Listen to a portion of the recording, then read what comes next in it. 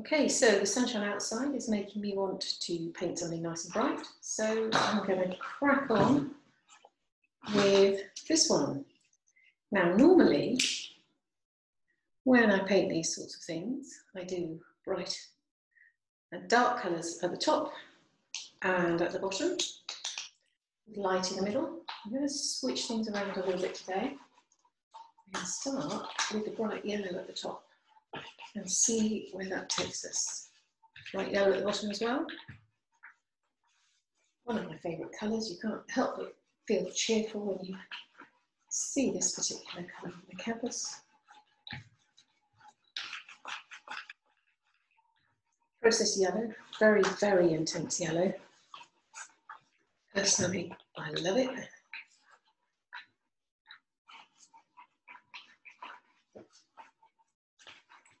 Now this size canvas is an interesting one because the roller doesn't really work very well on a smaller canvas.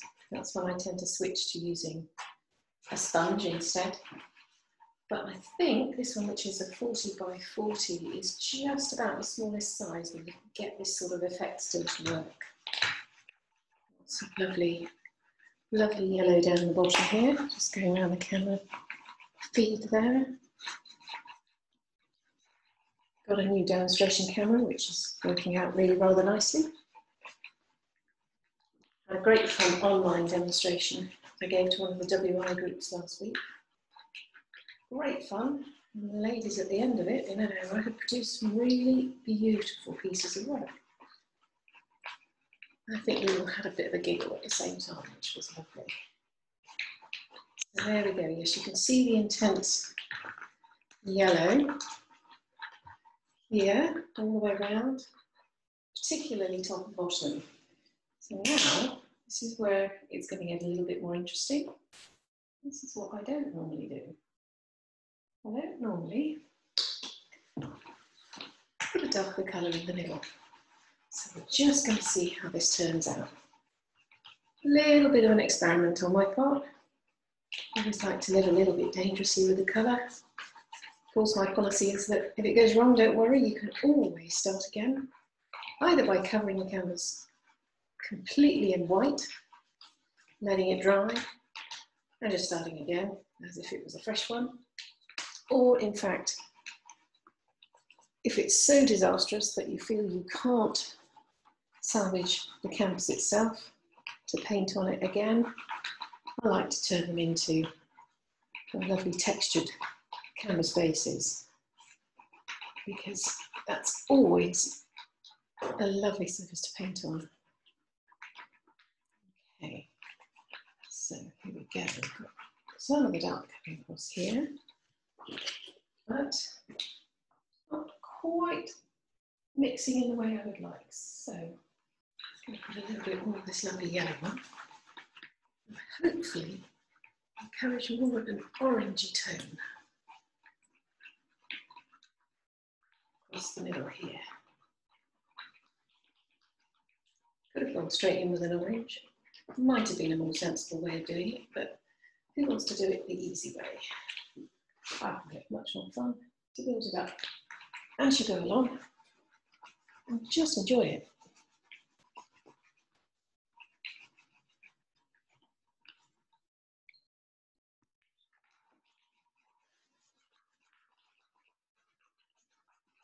You've definitely got a lovely orange coming across the middle of the canvas there, which is good. Not quite as dark as I'd like it to be, but I'll get to that in a little bit. So, first of all, I'm going to switch rollers to a clean roller that hasn't got the deep red on it. And work a bit more lemon yellow into this lovely area at the top here crisscross action being the key to this lovely sort of hazy contrast between the two colours as you get into the top of the canvas. Again, as I say, it's not quite working the way it would on a bigger canvas because it's not got the room to get quite as much blending involved, but I still rather like it. Eventually we're going to start with a far tent, colouring the centre, but I want to just get these upper and lower ends looking the way I want them to look. There we go. Very nice. That's what we're after.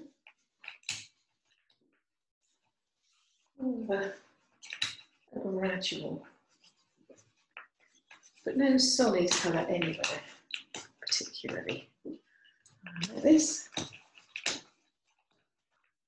This is how I'm wanting this to work out.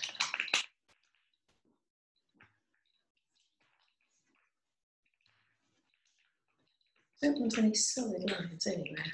Just getting that to come away a little bit there.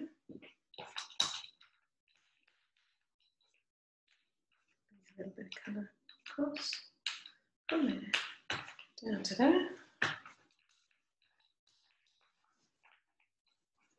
Okay, so I'm feeling a lot happier about that. So I'm going to look back into more intense red that I want. This is a Cadmium red. I probably really want a crimson rather than this, but never mind. It's the colour that I've got, so it's the one I'm going to be working with. It is rather a beautiful colour. Okay, here we go. Now, being very careful not to carry it too far up into the orange. Just want a suggestion of this sort of red across the middle of the canvas. A bit further maybe.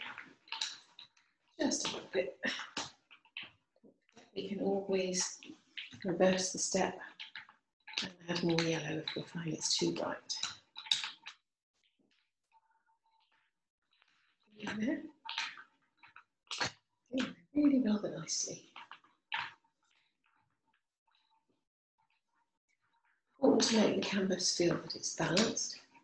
So I do want the energy to be really more in the middle region, higher or lower just across the middle.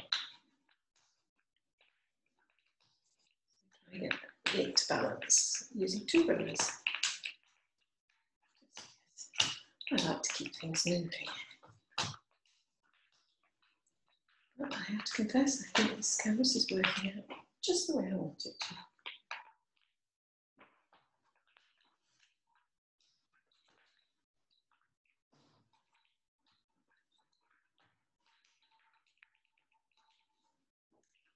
I think I'm happy with that. So I'm going to stop it there.